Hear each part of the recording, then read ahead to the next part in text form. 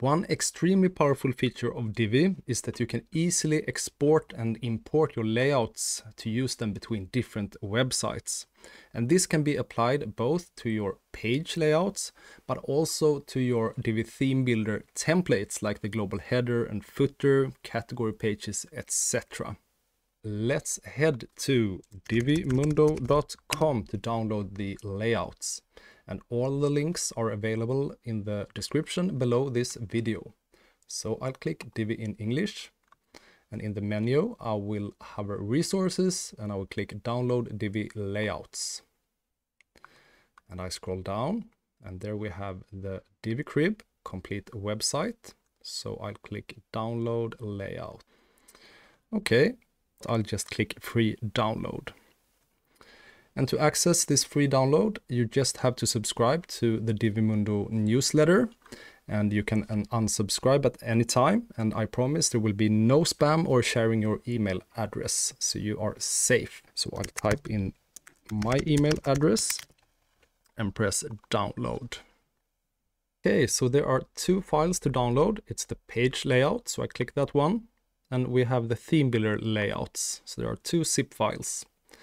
And uh, I have actually created an empty sandbox website just with a clean Divi installation on it. So you have to have the Divi theme in order to import these layouts. Uh, and I'll go to the WordPress dashboard. And we can start with the Divi theme builder layouts. So let's head to Divi and theme builder. So this is where we can import our global header and footer, category pages, 404 error, etc, etc. So for now, the Divi theme builder is empty. And uh, to the top right, we have this portability icon. It's an arrow down and an arrow up. So if I click this one, I can export my theme builder layout, which is none at the moment. And I can change to the import tab. And this is the one that we are using. So you have a few options here. You can choose to override the default website template, but we don't have anyone now, so it doesn't really matter.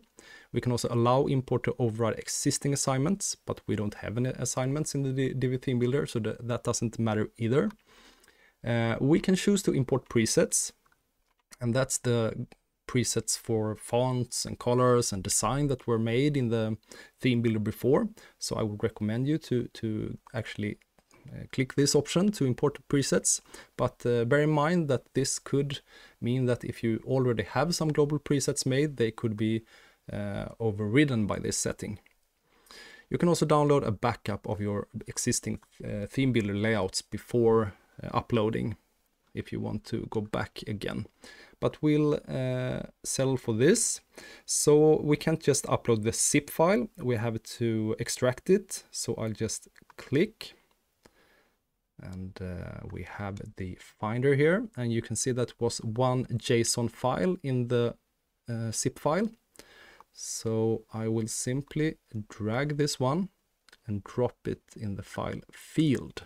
And now I will import the Divi Theme Builder templates and uh, all the images used um, before will also be imported in the media library. So this was pretty quick. We have five theme builder layouts. We have uh, the header and footer. We have the category pages, the post design, search results, and the 404 page. So just click Save Changes, and we'll just have a quick preview by clicking Visit Site. And uh, this is how it looks now we have the global header and the footer and everything else. But now we have the pages and these are just empty pages by now that I just added before. So we have to fix them. And you also have to go to your uh, menu settings to create your menu objects. So I can just show you briefly how to do that before we import the page design. So if I go back here to my sandbox website, I go to appearance and I choose menus. And here you have to create your main menu. I can choose that it's my primary menu. I create it and then I choose which pages that should be in the menu. So we did this before in the course, but you have to redo this when you import a layout because this is not done in Divi, this is in WordPress general settings. And I save the menu And uh, if we refresh the page, the menu looks better. So that's how you can fix that.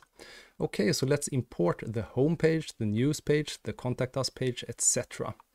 So we go back to our WordPress dash dashboard and we go to pages. And we can, for example, import the contact us page. So I'll go there. And these are pages that I created earlier.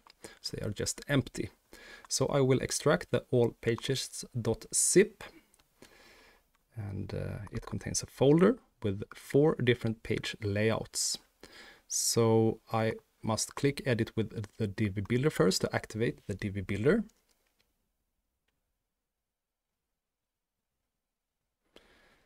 And I will not take the tour. Let's start building instead.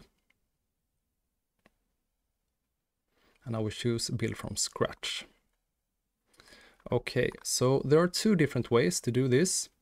I could open the bottom menu, the purple circle, and I could click the portability icon down here. And then we can do the same thing as we did in the theme builder. We click import. But we could do it even quicker by opening the Finder. And I can just take this file and actually drop it on the page and I want to replace the existing content. I don't need to download a backup since this is an empty page. And I want to import the presets. So let's import to the Divi Builder. And this will also import all the images and media files to your media library. And there we go, we have the Contact Us page. And now you can just change the text and the images and colors and everything the way you like it. So I click save. And I'll exit the Visual Builder to preview the page. And there we go. We have our global header, which is sticky. We have the contact us page and with all the content. And you can just keep on doing this with the different pages. That's all for importing layouts in Divi. And just to show you briefly how you export your designs and use them on other websites, we can go to the Divi theme builder and you use the same portability mode. So you just click this icon and you choose export and then you can name the file my builder design and I want to uh, export all templates or I can choose which templates to export. But this time I want to export all templates in one file. And it just takes a few seconds and now they are downloaded and it even removed my spaces in the file name so that's good. Okay and uh, now you can just import this to any Divi theme builder you want. And we do the same thing for a page maybe we can go to the contact page that we just created. So we import imported it and now let's export it again. So I will enable the Visual Builder. And I will open the menu here in the bottom and I will click the portability icon. And I will choose export and we can name it contact us, that's fine. Export Divi Builder layout. And there we go, we have the JSON file.